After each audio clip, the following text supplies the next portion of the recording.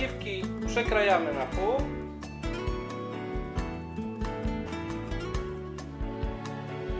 Usuwamy pestki.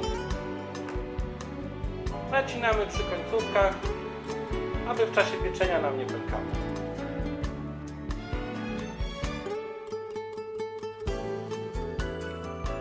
Oddzielamy białka od żółtek. Do białek dodajemy szczyptę soli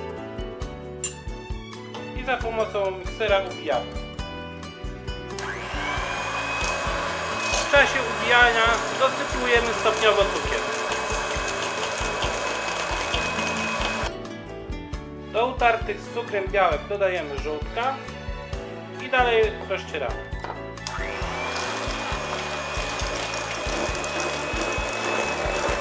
Następnie zmniejszamy obroty miksera na najniższe i powoli dodajemy maślankę.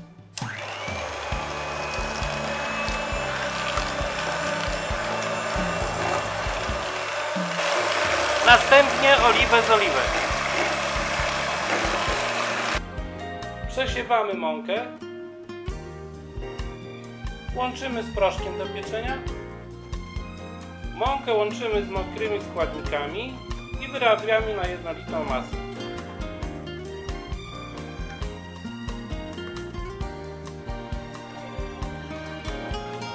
Na koniec dodajemy jeszcze cukier wanilinowy. Wszystko mieszamy.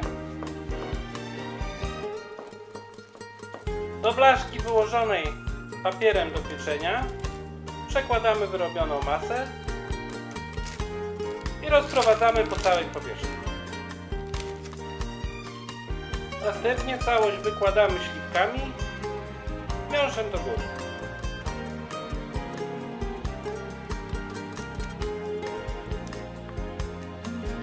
Tak przygotowane ciasto stawiamy do piekarnika na godzinę.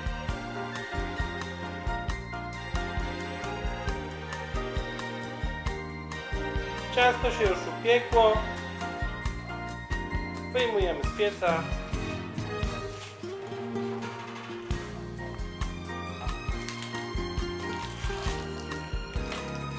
Studzimy i będziemy mogli podawać.